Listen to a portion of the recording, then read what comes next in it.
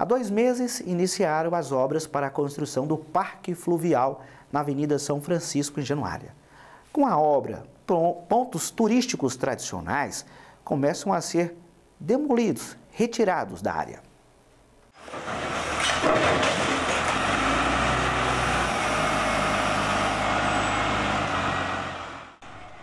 O barzinho mais frequentado do cais de Januária já faz parte do passado.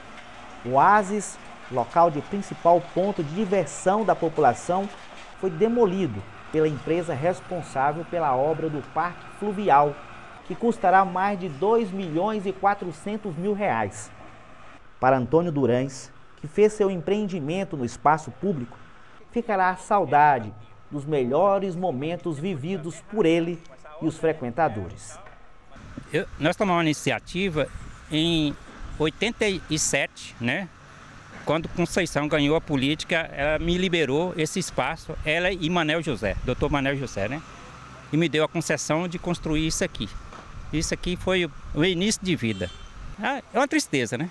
Hoje, ver isso aqui que a gente está vendo, né? A situação que isso já foi, para ver chegar numa situação dessa é muito difícil. Principalmente para mim, né? Que fui dono e criei minha família aqui dentro.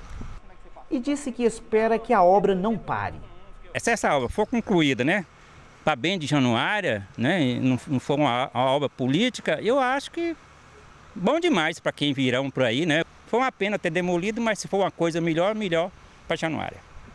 Depois do OAS, também não fará mais parte do cais, pelo menos neste lugar, é a chalana do Chicão, que lamenta, mas é a favor do progresso. A gente fica baqueado, é baqueado mesmo, tá doido. A gente lembra, né, se tá depois as coisas da gente que eu criei aqui, né? Trabalhei muito tempo, a amizade que eu tenho com isso aqui eu, faz parte da minha, da minha vida, isso aqui.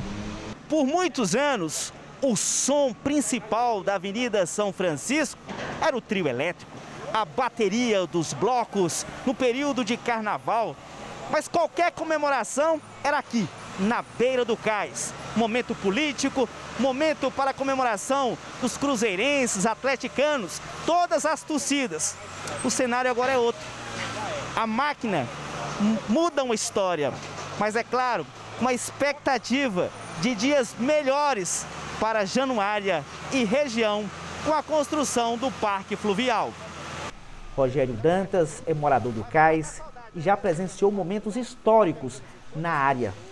Segundo ele, será difícil esquecer o que viu ali.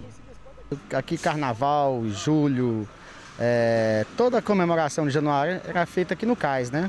Então com essa reforma nós estamos esperando que continue, né? Que essa reforma venha para revitalizar o cais e que as festas continuem, porque o cais para mim é o ponto mais marcante de januário. Então nós esperamos que realmente as coisas aconteçam aqui no cais novamente. Já seu João Vicente Batista, quando ficou sabendo o fim da chalana do Chicão, aproveitou para tomar ali sua última cerveja. Porque, na minha visão, é o cartão postal da Avenida São Francisco. Não querendo descredenciar os outros, mas é o cartão postal, na minha visão. Você pode ver que aqui sempre, enquanto os outros locais estavam vazios, aqui está cheio, né? Então foi a última golada? Aqui foi mas com certeza que eu vou tomar mais gole em outro local que Chicão tiver. O secretário municipal de turismo de Januária, Aurélio Vilares, explicou o motivo da retirada dos tradicionais barzinhos da Peira do Cais.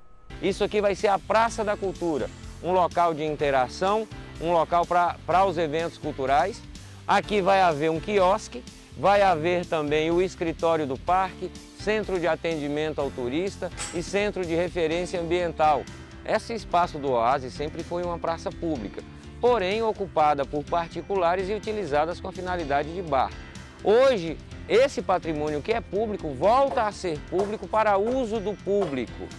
A gente sabe que toda mudança gera uma certa resistência, mas também as mudanças são necessárias.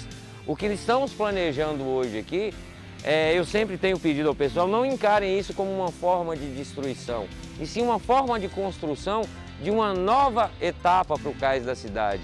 É a revitalização do nosso principal cartão postal, é uma área que estava totalmente degradada, desvalorizada e agora ela está tendo a atenção que merece com essa obra do Parque Fluvial. Primeiro ponto, vai ficar a saudade dos momentos bem vividos ali com Asa, Xalana, do Chicão, Carlúcio. E também nós temos que pensar no futuro, no progresso, nas melhorias e no sucesso. Esperamos que a obra realmente chegue ao seu final, à sua conclusão e que seja muito bonito aquele espaço.